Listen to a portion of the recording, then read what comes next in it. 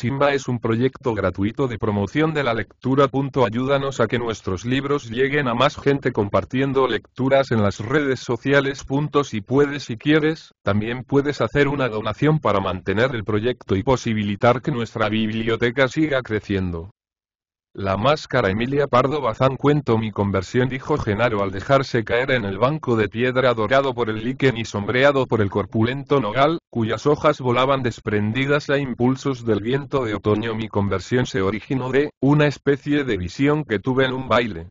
Apostemos a que usted con su amable escepticismo, va a salir diciendo que, en efecto, tengo trazas de hombre que veo visiones, Acierta usted respondí sonriendo y fijándome involuntariamente en el rostro del solitario, cuyos ojos cercados de oscuro ligor y cuyas demacradas mejillas delataban, no la paz de un espíritu que ha sabido encontrar su centro, sino la preocupación de una mente visitada por ideas perturbadoras y fatales respetando todo lo que respetar se debe, propendo a creer que ciertas cosas son obra de nuestra imaginación, proyecciones de nuestro espíritu, fenómenos sin correlación con nada externo, y que un régimen fortificante, una higiene sabia y severa, de esas que desarrollan el sistema muscular y aplacan el nervioso, le quitarían a usted hasta la sombra de sus concepciones visionarias.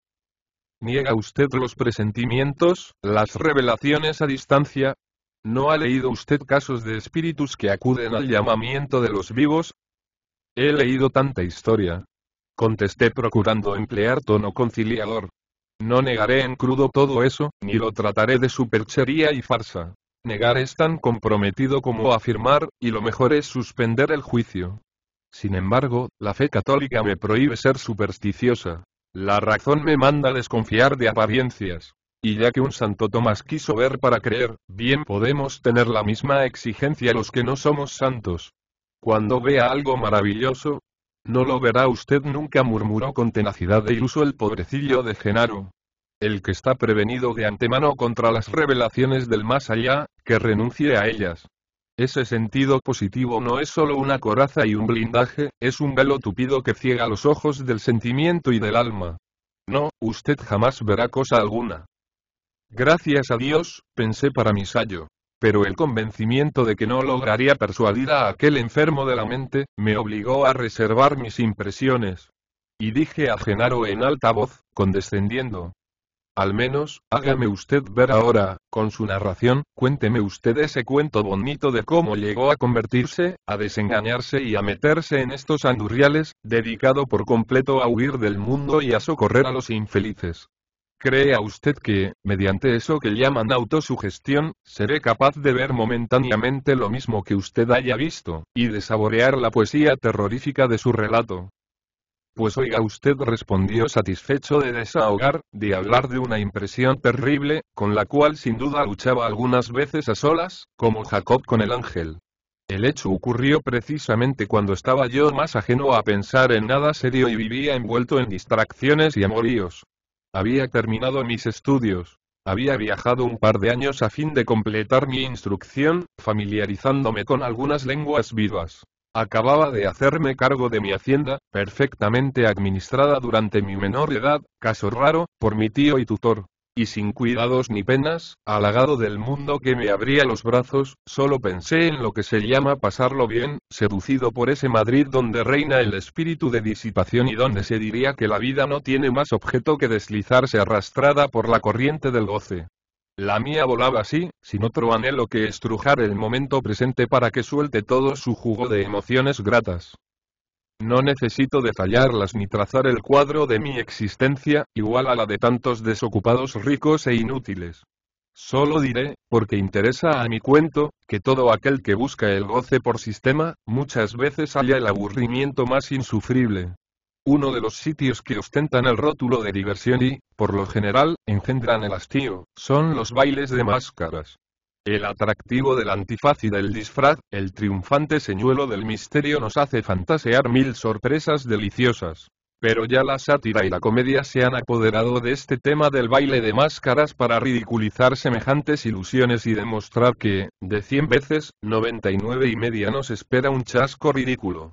No obstante, esa probabilidad aislada y remota basta para excitar la imaginación y llevarnos allí, de donde salimos renegando.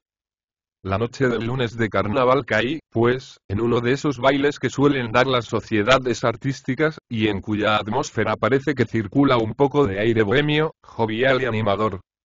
Yo había comido con amigos de mi edad, mozos alegres, y para prepararnos a la trasnochada y al probable fastidio apuramos algunas botellas de vino espumante y tomamos café fuerte. Así es que me encontraba en un estado de excitación humorística, dispuesto a cualquier diablura y con ánimos para conquistar el mundo. Entré en el salón central precisamente cuando se iban a rifar las panderetas, y la gente, dejando desiertos los otros salones, se arremolinaba en torno de la rifa. Como no tenía el menor empeño en que me tocase cualquier botecillo, no intenté romper el muro de la carne humana, y me dirigí a otro saloncito retirado, muy adornado de espejos y flores, y casi desierto en aquel instante. Iba distraído, examinando maquinalmente la decoración, cuando una serpentina amarilla se enroscó a mi cuerpo y escuché agria carcajada. Me volví y vi que las roscas del ligero papel las disparaba la mano de una locura vestida de negro, con pasamanos color de oro. Ya pareció el argumento de esta noche, pensé, acercándome a la que así me provocaba, y notando con agradable extrañeza que aquella máscara no podría ser una cocinera disfrazada, sino, sin duda alguna, una persona de mi clase, de mi esfera, de mi misma categoría social saltaba a la vista en el menor detalle de su esbeltísima figura y en el conjunto de su disfraz, no alquilado ni prestado, sino hecho a medida y cortado a la perfección. Mis gustos artísticos me graduaban de inteligente en indumentaria femenina, y yo veía que aquella falda de negro raso riquísimo, orlada de frescas gasas amarillas, delataba la tijera de modista experta y hábil. Y aquellas medias negras bordadas, que cubrían un tobillo de tan aristocrática delgadez y un empeine tan curvo, eran de la seda más elástica y fina. Y aquellos larguísimos guantes, también de seda y bordados igualmente de oro, acababan de estrenarse. Y el sonoro cascabel, que de la orilla del picudo gorro colgaba sobre la frente, era de oro cincelado, enriquecido con verdaderos diamantes.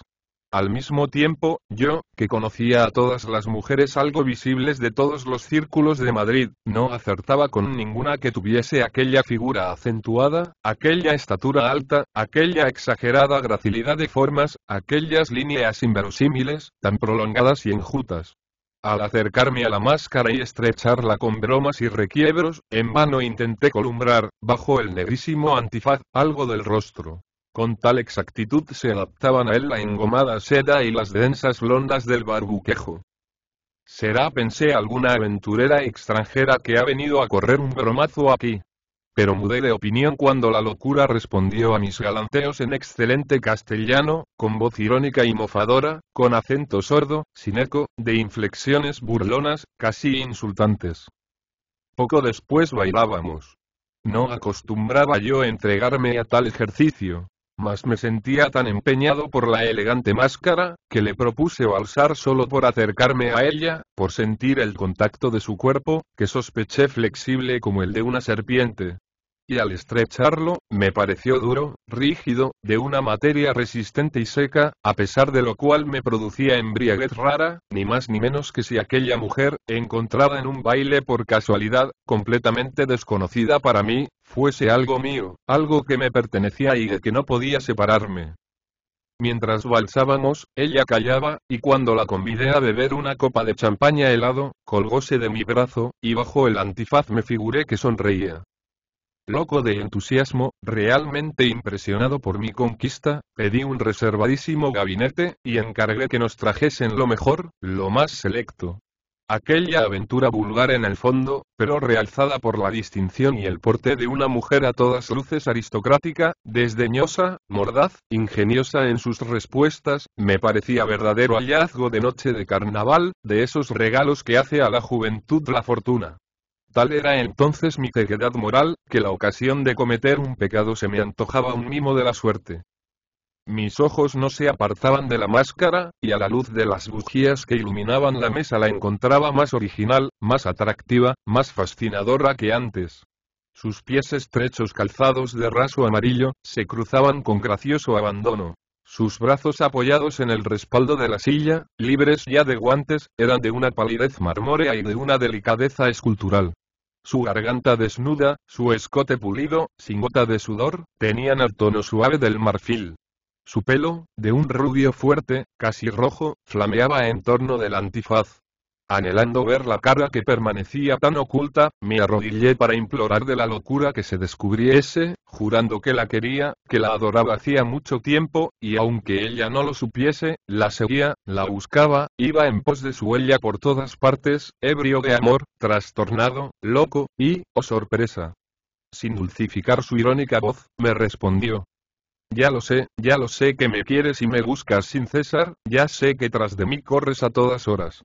Ya sé que soy el fanal que te guía. Hace años que también espero el momento de reunirme contigo para siempre, hasta la eternidad, bebamos ahora, que luego te enseñaré mi rostro.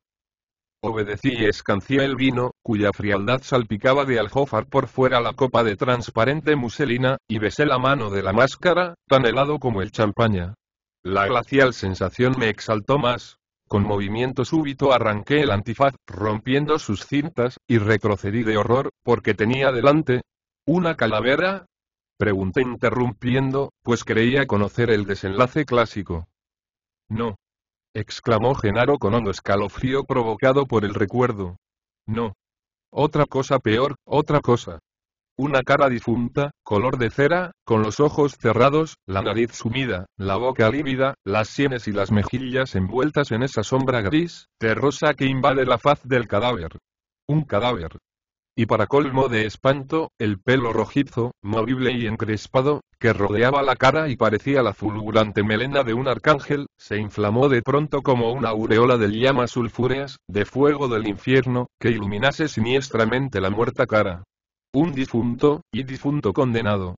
Eso era la elegante, la esbelta, la burlona locura, vestida como los ataúdes, de negro con cabos de oro.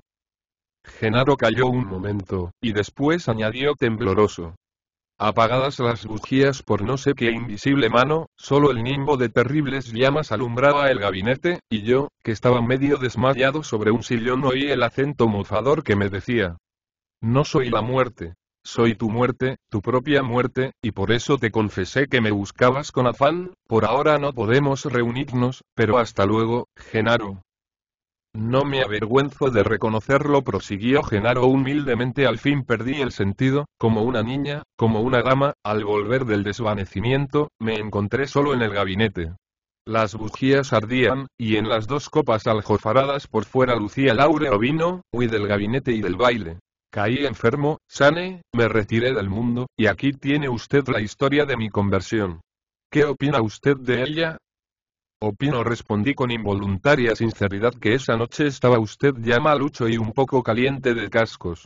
Que la locura vestida de raso negro era una cocot pálida y con el pelo teñido, pagada tal vez por algún compañero de francachela para embromar a usted, y que, por lo demás, convertirse es bueno siempre, y la caridad una excelente ocupación. Genaro me miró con lástima profunda, se levantó y echó a andar hacia su casa. El liberal 28 febrero 1897. Pu.